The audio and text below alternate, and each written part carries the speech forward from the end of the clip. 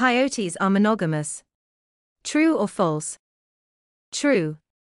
Coyotes are loyal partners in the best and worst of times. A study found that coyotes mate for life and only seek another partner when their previous one has died.